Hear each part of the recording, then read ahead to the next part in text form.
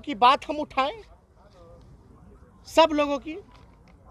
और आज तक हमने इतने साल से हम नेता विरोधी दल हैं। आप लोगों ने देखा होगा, जितने आंकड़े हमने पेश किए, अगर सरकार बता दे कि हम गलत है तो। और हमने तो आज सदन में भी साबित किया, मोबाइल पे खोल करके कि सरकार का वेबसाइट है। और हमने ये भी बोला कि अगर हम गलत है तो हम पे कार्रवाई हो।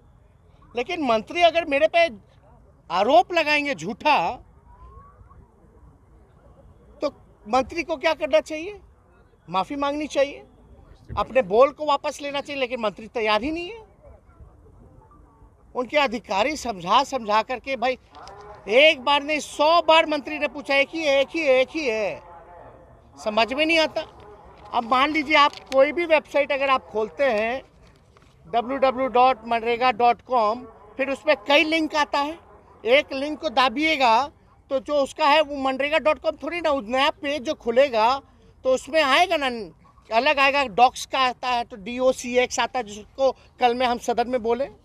एक होता है जो अभी हम आपको बोले वेब फोर ये तो आप लोग भी खोलिएगा तो हम खोल करके दिखा देते हैं।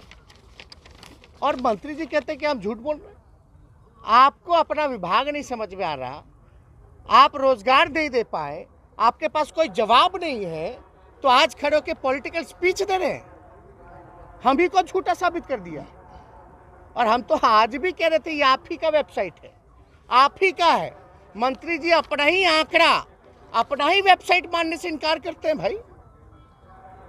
और इस तरह की बातें हम पे जो है आरोप लगाया गया, ये निंदनीय तो क्या फ़ायदा हमको सदन में जाने का? ये तो परंपरा बनती चली जाएगी। अगर आज मंत्री माफ़ी नहीं मांगेंगे। इस्तीफा, कायदे से तो इस्तीफा दे देना चाहिए था। बिहार का जनता देख रहा कितना अज्ञानी लोग भरे हुए नीतीश जी के मंत्रिमंडल में। अब मुख्यमंत्री चुप है। कोई गलत बात बोले तो मेरे गलत आंकड़ों को झूठा तो बताओ। आप अपने ही विभाग को झूठ बोल रहे हैं, अपने ही वेबसाइट को झूठा बोल रहे हैं, फर्जी बोल रहे हैं।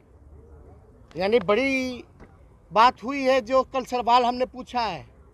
हड़कम बचा हुआ है। और उनका क्लास हुआ है तो अपना भड़ास उतारे हैं। झूठा आरोप लगा के। अरे कल इतना कुछ हो जाने के बाद भी जाकर के देख लेते भाई। कि नेता विरोधी दल कौन सा डॉक्यूमेंट खोले। बताने वाला भी बेवकूफ़ है। ना मंत्री जी डॉक्स वाला है।